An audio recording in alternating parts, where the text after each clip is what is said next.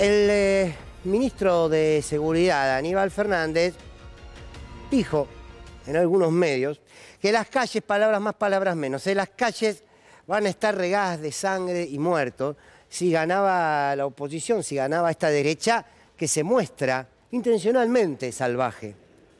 Por supuesto, nosotros que somos un país que reaccionamos mucho más ante la palabra, nos rasgamos las vestiduras entre aquello que auditivamente nos molesta o nos choca, pero después en los hechos concretos y a veces miramos para otro lado. Entonces, claro, rápidamente el ministro dijo esto y la oposición salió a contestarle. Los medios se horrorizaron. ¡Qué barbaridad!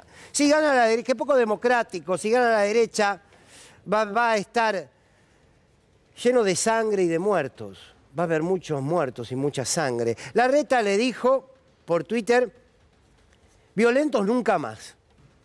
Están los que encienden el fuego y estamos, sí, sí, dijo, estamos los que lo apagamos. Salió Burri también a criticar al ministro.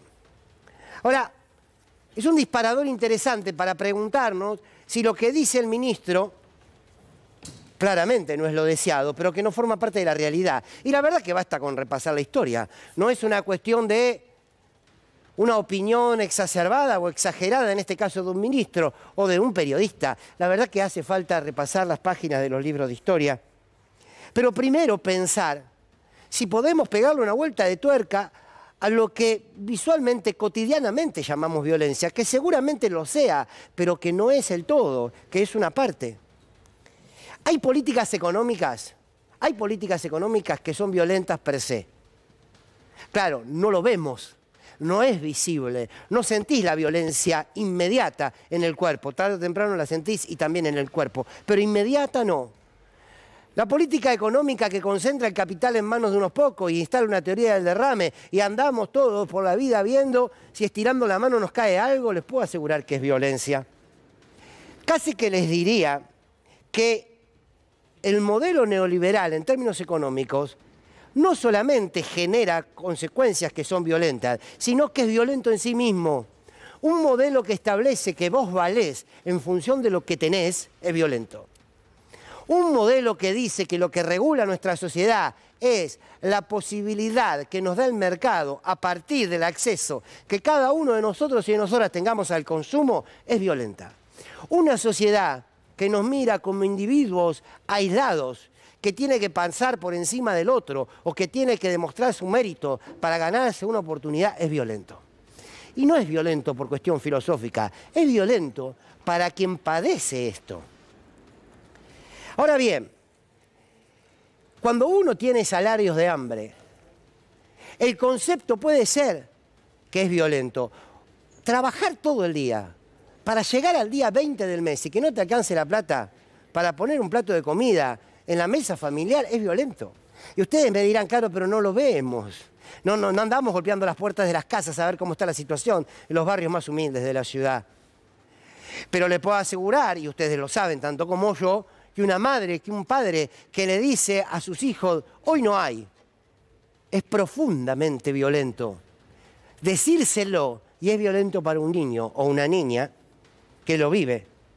Pero además, hay modelos, estos, los neoliberales, los modelos que lleva adelante la derecha, que necesitan de la violencia, porque son violentos per se, pero que necesitan de la violencia para poder sostenerse en el tiempo, para poder mantener su factor de poder. Por lo tanto, y lo vivimos, cada vez que hay un gobierno con políticas de ajuste, con políticas de recorte de derechos, automáticamente fue un gobierno represivo. No hay una ecuación en la historia de nuestro país que sea distinta. La dictadura fue represiva, la dictadura vino a instalar un modelo económico, el menemismo fue represivo, por más que muchos que digan que es peronismo, digan lo que quieran, pero fue represivo, aparte de ser un saqueo. La alianza fue represiva, el macrismo fue represivo y aplicaron el mismo modelo económico los cuatro, el gobierno de facto y los tres gobiernos eh, democráticos. Ahora, lo recién lo hablábamos con Pablo, Llamamos violencia siempre a la reacción, porque lo que es visible es la reacción. Que puede que la forma sea violenta, claro que sí.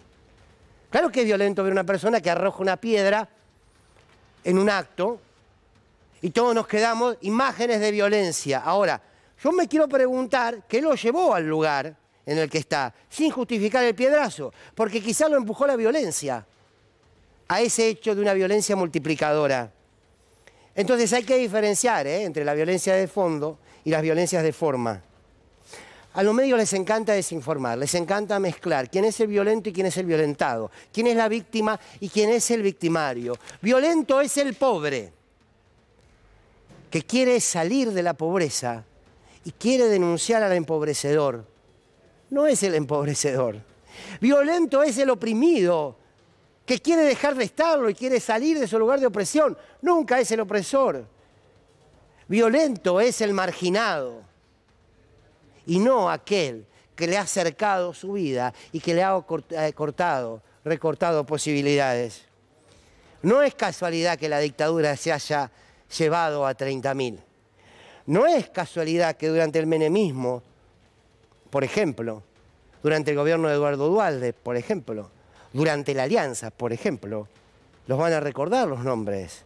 Teresa Rodríguez en Cutralcó, Fuente Alba en Neuquén, Víctor Choque en Ushuaia, Aníbal Verón en Tartagal, Maximiliano Costequi y Darío Santillán en Avellaneda, 39 muertos y 500 heridos el 19 y 20 de diciembre en todo el país, Santiago Maldonado, Rafael Nahuel. ¿Cómo? Que cuando gobierna la derecha no hay sangre en las calles. Pero tiene razón el ministro. ¿No quieren hablar del ministro? No hablen del ministro. ¿Es mentira? ¿Es mentira? ¿Y por qué hay violencia? ¿Porque se la desee? No. ¿Por qué es la reacción ante un modelo que es violento?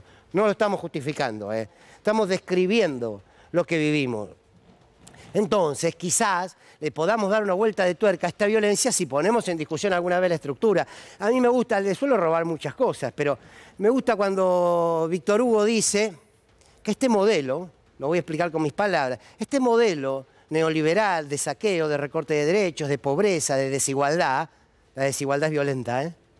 Este modelo debiera agradecer los bajos índices de delincuencia que tienen. Suena fuerte, pero es verdad. Es tan violento el modelo. 40% de pobres. ¿eh? Es tan violento el modelo que la reacción debiera ser muy superior a lo que la es. Sin violencia, claro, pero esta es la realidad. La represión es un instrumento fundamental para las políticas neoliberales y las políticas de derecha. No pueden gobernar sin un sistema represivo. ¿Cómo haces para ir por una reforma laboral?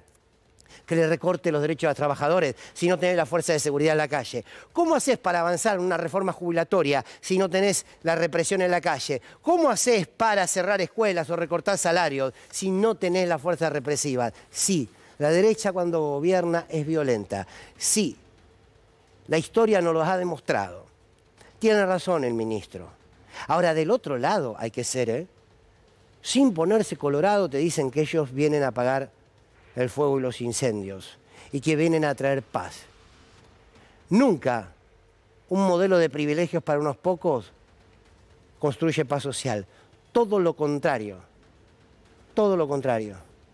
Quizás debemos abrir un poco más el escenario y de alguna vez entender que cuando tenemos la duda de dónde, dónde nos ponemos, siempre pensemos, no solo porque a veces hay motivos para justificar, pero seguramente siempre hay motivos para empezar a entender, es por qué el violentado es violentado, quiénes son los que violentan. Las reacciones son consecuencias, no son causa. Quizás haya que discutir todo. El 9 de Nepal, hablando de la violencia.